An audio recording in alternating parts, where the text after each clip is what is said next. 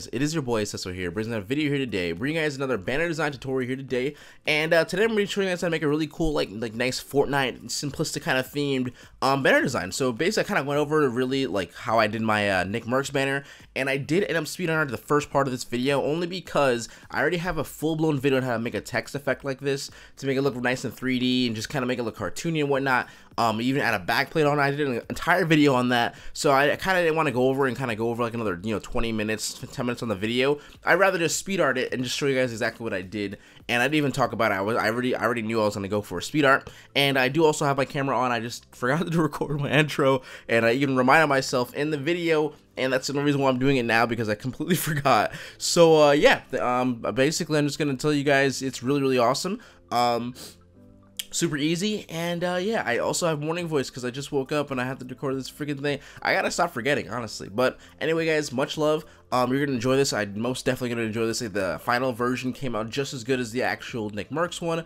Um we're just like a little less effort such as word placement and stuff is because tutorial reasons right? So hope you guys do enjoy today's video here today and don't forget to leave a like on the video 200 likes on the video equals a secret down below as always and uh, i'll talk to you guys later. So HQ out. Um i'll see you guys in the video Okay. No morning voice either, please.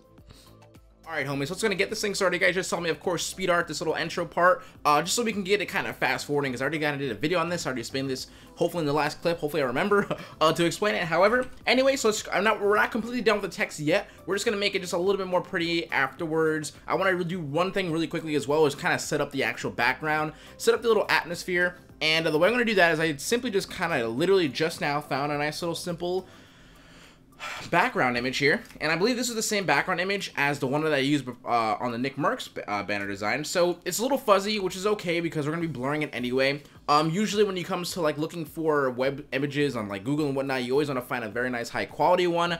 Um, in this case here, I'm gonna go ahead and say select, um, excuse me, filter, blur, Gaussian blur. We're just gonna blur this out to about uh 15 I think 15 is pretty good. Just somewhere you can see that it's referenced from um or you can see references of I guess like Fortnite itself. Like you see like little skin, you see the scarf for sure. You see these little blasts, um, uh, the fire rate, whatever. What, what would it be called? The the after whatever.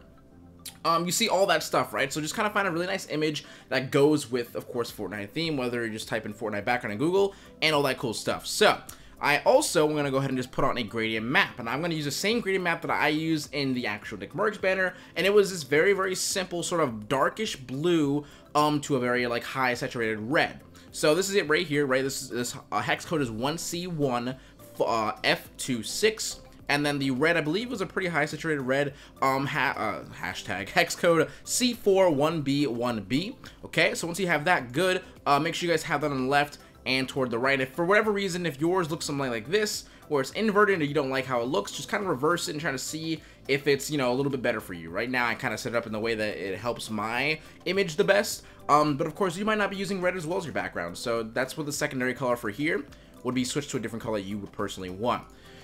Now, I'm to go ahead and let's make sure this is big enough for the entire thing. There we go. I have a little background set now, so that looks a, bit, uh, a little bit better for me to work with. So I can see what's going on, actually. So, I'm going to do this really quick little thing about the text, right? So, I do have this little texture here. I'm going to throw this onto the back plate, which happens to be this image right here. I'm just going to duplicate this and merge this all together for us take this here. Going to clip mask this. This is a very, very simple sort of metal texture. I, I no, it's a grunge texture. I typed in grunge texture, I believe, inside um Google and whatnot, right? You put it on multiply, about 20% on opacity. Otherwise, uh, if it's on normal, and if it's at 100%, it's a little bit way too much. So multiply, 20% opacity is pretty good. If you want to, you can take your soft brush eraser and kind of erase around a little bit. And uh, that's not quite it. I did one more thing as well. If you guys have my stock brush pack, you guys should definitely go purchase it. $5, literally, little self plugin, sellfy.com slash SesoHQ. Um, but I believe I used one of these brushes. I did use one of these brushes. I don't know exactly which one, but just something really cool. Just kind of like give it more of a, a grungy uh, appeal to it, right? So I, I think I used maybe like this one or something like that. It was something like this one, and I kind of like just went like this a little bit.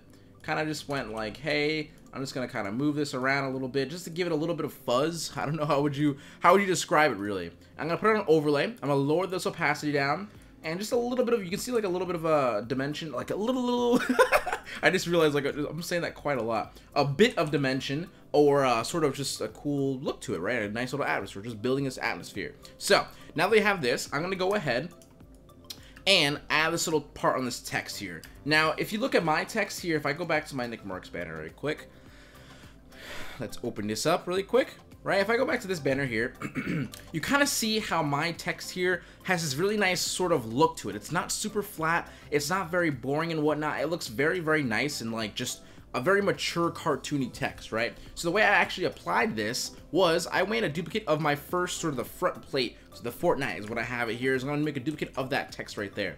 I'm gonna double click on this. I'm gonna use the bevel and emboss, emboss, whatever the way you say it and I'm gonna go ahead and just fiddle with this a little bit until I get a very cool sort of you can see this like almost like a bubbly that's what the bevel is actually the emboss itself um like a bubbly effect right? So very cartoony and very cool. I'm gonna put on a stroke as well. Make sure it's on the inside. Make sure your blend mode is on normal. The reason why you can't change any of your blend modes really right now besides the bevel and emboss um is because when you actually rasterize the layer, what you're going to be doing, and then you were to try to change the the layer style to um, what you're going to be using a linear burn, um, it's just not going to work out in your favor because it's not going to give that same effect that you had originally applied. So whatever you're going to do, use blend mode normal. If you want to use, uh, like usually I would go for like an overlay, make it white, right? But you can make this color, the same exact color I just made just now, it's just using a simple uh, kind of like a dulled or, or muted kind of yellow and then using white. All right, just put my blend mode back on normal. And so once I have this, I'm going to take a gradient um, overlay here we're gonna make it black and white and we're gonna go ahead and sort of put this on overlay and we're gonna take this opacity drop this down just a bit maybe about 30% just so we can see that little uh, you know kind of like that color gradient going through. I might put it on 20% actually. And I don't want to go too much but maybe a little bit of an inner shadow and I think I already preset these right? I think I already preset this little option here. Um, this inner shadow here has 10% opacity distance at we'll put at 10 25 and 15 to make everything nice and 5 intervaled um, press OK. Now, once you've done this, this is where you're going to have to right click on that text. Go to layer, uh, rasterize layer style, and we're going to change the layer style blend mode from normal um, to, let's put it on near burn, and we might actually have to, yeah, we might actually have to do something really quick. I forgot. Before you went ahead and rasterize this layer type, make sure you take the fill, drop it all the way down to zero. That way you only see the actual layer style itself, um, because previously you just saw that I had the fill on as well. You don't want to overlap two different colors, otherwise you're going to change your color entirely. So I'm going to go ahead now, and we're going to go and just simply lower this fill down, put this back to where it was, lower the fill down to zero, right? And then put it on uh, rasterize layer type. And then we're going to go ahead and go to linear burn, which is right here. Perfect. Um, so yeah, you can see how very, very nice and just like, it looks very crisp in my opinion. I love the way it looks. It just looks like 10 times better. You can lower the opacity just a little bit. Oops, that's the wrong layer. You can lower the opacity just a little bit if you guys want to, about 80% or so. If you guys want to as well, you can go ahead and like erase around a little bit. But you can see how it goes from being um, nice and bolded and kind of to a flattish look here if you don't want to erase, I wouldn't really go for that. I would just leave it just like so because, in my opinion, this probably looks the best and you probably get the best cartoony sort of text effect um, with this little layer style tweak, right? So, I'm going to go and move my mic a second, sorry. All right. I'm going to go ahead now and we're going to go ahead and go onto this site here. I'm going to show you guys this site because this is where I'm going to get all of my uh, images here, right? Um, this site right here, fnbr.co, is a very, very well-known site to get uh, Fortnite assets. No kind of sponsorship or anything like that, but when I do like Fortnite thumbnails, I always use this site to get every little thing that they have, because they have basically everything I personally would want um, PNG-wise, right? So I'm going to go ahead, and I'm going to take something from here. We're just going to take the shotguns again. I'm going to save this image. You can just save it right on there. Um, save this just like so. Bring up this in the folder, and I'm going to go ahead and go back into Photoshop here, right? And we're going to take this drag it into here, and here we go. Now we have our first little PNG image inside our text. I'm gonna go ahead and just get rid of all this stuff in the group. There we go. So it's behind it. Oh, what's not there? This should all be down here. Please and thank you. Perfect. That's my text. This is my icon. Perfect. So I'm gonna go ahead now and bring up my rulers. That was loud and I apologize. Bring my ruler here. If you guys don't have an actual ruler that divides the middle, um, that's not something you have automatically. You What you wanna do is press Control R until your rulers show up just like so take on the left hand side, drag it right over until you feel like a little snap where you think the middle would be, and you'll see like it's like snapping a little bit. That little snap is indicating that hey, this is where the middle is, and this is way you can always figure out uh, where the middle is and all that cool stuff, and kind of figure where you want to have all of your stuff at. So I'm gonna go ahead and I'm going to basically kind of leave it like just a little bit of an inch off from the middle here. I'm going to drag this down a little bit more, and I'll say that is pretty okay. Now, anything I'm going to basically be doing is I'm just going to kind of duplicate it right over to the other side. So, Control J on your keyboard to actually make a duplicate for you guys, and or you can hold Alt and Shift and drag it right over and that'll make a duplicate for you, as well as keeping on the same exact x-axis, which is pretty handy when it comes to making sure that everything's on the straight and uh, kind of like, you know, everything's where it should be on the opposite side as well. I'm going to move this over here, and while doing this, you should be able to see that little, uh, little guideline that kind of says, hey, this is where you should stop at, just because that is where the middle is compared to your other image here. Um, I believe that is so, and I'm going to go ahead and just move these down now a little bit. Now that I know I have them at the right place, move this down right about here, right? So we kind of have shotguns here. I believe I had shotguns something else there. Um, I'll make this a little bit smaller because it was a little bit smaller on the other one. Move that, move that up a little bit now. Okay, so to fill this space, I'm going to go ahead, because I'm doing something a little bit different, right? This is a different text, this is a different kind of thing going on here. I'm going to go ahead and we're going to put in, um, should have probably thought about this. Uh, let's just put in like another gun, maybe a smaller gun like this. I'll put in the deagle here, right? show in folder, take it here, move it over here. Sweet, taking this, shrinking this baby down, and we're gonna put a nice little uh, gun here. And I'm not gonna put it exactly, um, like, kind of like mirrored. For this instance, I'm just gonna fill this little spaces going on here, and I'm gonna say this gun can go right here, and if I really wanna make it look super, super cool, I can actually go ahead and if I wanted to, like, say, let's just say if it had a dip going down here, what I'm gonna go ahead and do is I'm to do some really quick so I can show you guys maybe something you might want to do as well. You see how like everything here is like cut off right here? I want to only have basically like from here right until like to here. So I'm gonna do is I'm just literally just kind of hover over right that, like just so I'm hovering over the image, right? So what I'm cutting is basically right here, right? Also basically making sure that, when I'll highlight this down a little bit, that it's also above this here. So I wanna make sure it's above this little back plate I'm talking about, this little gray or blackish going on here. And I can go ahead and if I were to make a selection and layer via copy, now I'm going to take this, drag this back down below everything. But then if I have this little uh, layer here that we made a copy of, we can have this basically kind of like hovering over um, the little, uh, what do you call it? The text itself, right? It's a little bit choppy here because I should have actually penciled the entire thing, but hopefully that kind of gave you an example of what it should be going, uh, what you should be going for. Uh, yeah, look a little bit, it looks a little bit awkward, honestly. But that's only because previously, I stopped it too, too far below. So, it's okay, but just for the instance, that's just kind of how you do it. And what you can kind of do after that is, I'm just, I'm literally freeballing this right now. Uh, definitely not the best choice of words. Uh, literally just free minding it. Yeah, let's, let's use the right, the right words. And I can kind of like put a little bit of shadow here, right? Lower this lightness down so we can get a nice black. Take this eraser, right? Lower the opacity down right? You can have it like kind of like showing like a little shadow, the gun is above the text. Very, very cool stuff here, honestly. So I'm going to go ahead now, and I'm to do like one more gun basically, because really it's just kind of up to you at this point. Take some guns, take some fun little things. Um, we'll take... I know I can do a launcher like I did before. I'm going to do this launcher this time, see what happens. I kind of get more color in here, why not? And I already have the launcher on that side. I'm take this, drag this baby over. It's a very weird color scheme, but, you know, whatever. And it's also definitely nothing about Halloween. It's We're very, very far out. But, in this case, we're just going to go with it and roll with it and see what happens. Here we are, right? We'll put one more gun. We'll actually put one more gun. Okay, okay, okay. Let's just do...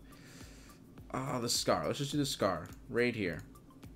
Save this. Go back into Photoshop. And where the scar at?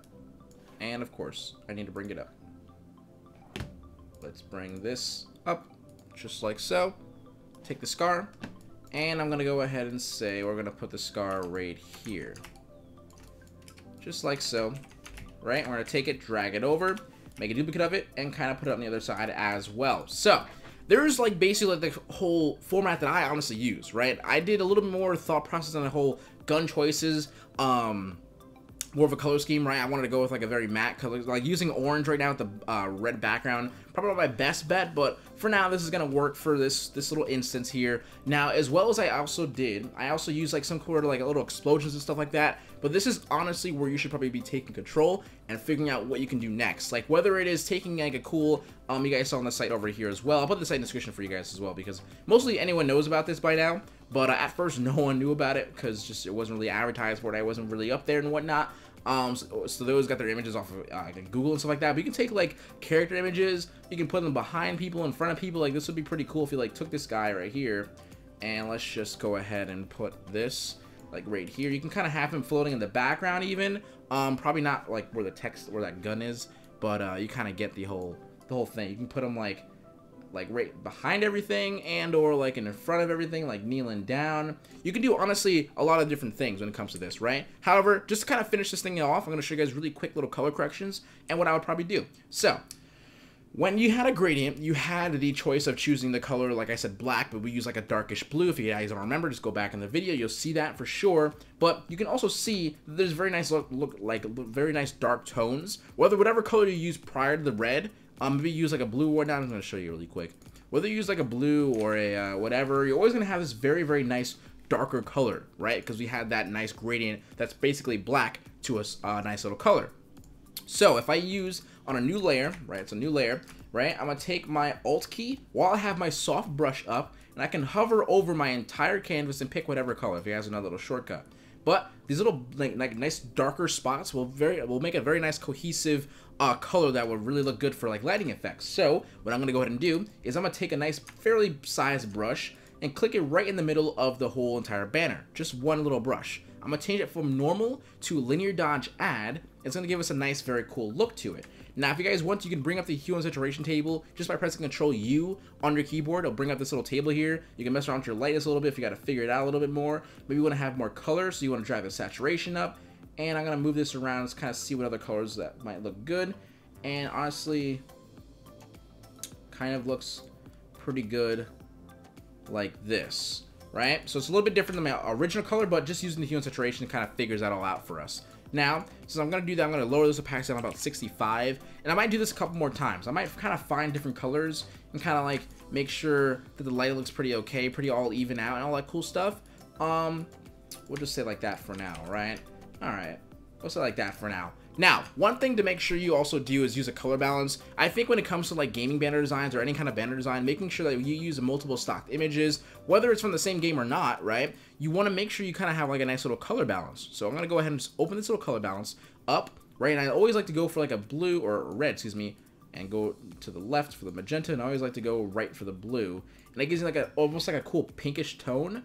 Um, but you can really fiddle around with this a lot. You can use different blend modes, I'm sure, if you guys want to give it a shot. But you can see that it kind of gives it all like a mask of a nice, very neutral, even kind of color scheme. And once I have that going for ourselves, we're going to go ahead and kind of add just a little bit, you know, some little brightness and contrast right here, right? So negative brightness, positive contrast, just so we can get a nice little color right there. That looks really, really good, honestly. And, uh, I mean, essentially, we're pretty much done. I'm going to put just like, you can put, you know, designed by SesoHQ right on the bottom. I wouldn't advise you doing this, actually, but this is where I would put, like, little subtext, whether you have, like, um, whether the person has social media or you have social media or something like that. But, you know, subtext here, uh, icons here, you know, Twitch, uh, whatever, whatever, all the social media stuff, right? But, uh, basically, that is pretty much it on how I created my actual Nick Mercs one. You can see I added a lot more personal stuff, and I also put a nice little sharpen on this. I've also put a little bit of a, uh, you can see like a little pattern in the background here to kind of add a little bit more depth. And the way I actually do that, I might, I don't mind showing you guys. Um, I just want to make the video too long and whatnot, but if I just fill the background with any color whatsoever, right? And if you guys have my personal um, pattern pack, which is also on Sellfy, it's actually $3. You can see it right here. If I just go over here, I'm going to just take one like this. Perfectly fine. Press OK. Now, the way you're gonna have to be able to erase this is you just kind of simply just rashes layer after you put it on, just like so. Then you can take your eraser and or you can use the masking tool, but it doesn't really matter for now. And I mean by that is using this right here, and then you can kind of like make sure you can, you know, erase it. If you use a black, it'll bring it back in, right? I'm just gonna use a white, erase a little bit in different spots, kind of adds like a really nice like texture to it. And as also as well, I add these little cool little things. I just pen tooled them and then put it on uh, opacity, like, uh, you know, let me show you guys really quick as well. Why not, right? But I this is why I really wanted you guys to kind of figure all this kind of stuff out and kind of figure out what you might want to do for yourselves. But I don't mind showing you guys a little bit more. Let's just kind of like do something like this. Um, and then like this, right? And then a little bit like this. So what I essentially did was I filled this in with black, just like so. Uh, delete the path. Went over here to the blend mode, put it on overlay. Oh, why is it on... I don't know why it was only like showing that it was only one that was overlaid. That's so awkward. Why is it doing that? Okay, there we go. You can kind of see it's kind of it's almost because actually uh, it's a little bit of a lighter color down here, but you can kind of see what's going on here for the whole little darker little uh, like little stems, little spikes and stuff. It's kind of like a staple in most um, Fortnite like thumbnails. But also what I did was I went ahead and just kind of pen tooled on the either side of these little spikes here. I changed my uh, brush settings to two size, 90% uh, hardness. With my pen tool, I then right clicked, stroke path on a new layer, take brush settings just like so, and it should be on a new layer. It is. Okay, so I can just change this different color. Color overlay, we'll change it to like a yellow, right? Kind of complement what's going on, on the inside. So there we go. That's how I kind of did that little uh, little effect there. Very, very cool stuff here. And when I would say to finalize your banner design, what I would do is make a selection of everything in the actual document. So from the top to the bottom layer, just hold shift and then press Control J to make a duplicate. Control E and merge it all together. Go to filter, filter gallery. This is how you get the best quality out of your uh, stuff here. Go to artistic here. On these little filter galleries, go to paint dubs or whatever you say. Uh, one size, one sharpness. Press OK, and then instantly your quality. If I just turn this on and off, you can see like if you look over here, you can kind of see what's going on here. The quality just sharpens so much. It looks so so so good as you guys can see like why this looks so so good. And uh, secondly, what I did is after I did the whole filter gallery one, I made another completely duplicate of my entire thing. I went to filter, I went to just regular old sharpen, and just kind of sharpen it one more time. And if you guys need to, you can erase around a little bit or kind of figure out where it might not need sharpen. Um, but yeah, it's basically how I did it. So honestly, this is a very, very clear tutorial, I think. Um, it came up pretty well, even though it's just very kind of like loose and whatnot. Um, yeah, I'm just excited to kind of see what you guys would do next. And I also appreciate the support on that actual tweet. Nick Mercs finally saw it after like 600 likes. Um, but uh, I wanted him to see it so bad, but because uh, he's just like just a cool ass individual, right? So anyway, hope you guys enjoyed today's video here today. Hope you guys enjoy your weekend. Um, Really quick shout out to all you guys on Twitter. If you guys have no clue, I've been working so far in 2018 with people like Complexity, TmarTn, Keemstar, Pokimane, it's kind of ins like it's insane. I know it should be Pokemon, but most people call it Pokemon. Um, it's insane. Like I want to just say thank you guys so very much. Um, all these opportunities that are coming to me are happening because of you guys supporting me. Um, whether you guys do or not, if you guys want to follow me on Twitter, I would I would gladly enjoy that. Um, that's where you guys gonna keep most of my updates and whatnot at HQ. And uh, yeah, check out my new website actually, SesoHQ.com. Just kind of check it out and my new works, my little uh, logos and stuff like that. Um, yeah, thank you guys so very much for watching. Uh, just much love to you guys, and I'm gonna just get out of here. All right, so much love. Talk to you guys later. So you out. Don't forget to keep smiling, stay positive, and uh, stay freaking Dutch, guys. Later. Much love. Wow, kisses. Salute.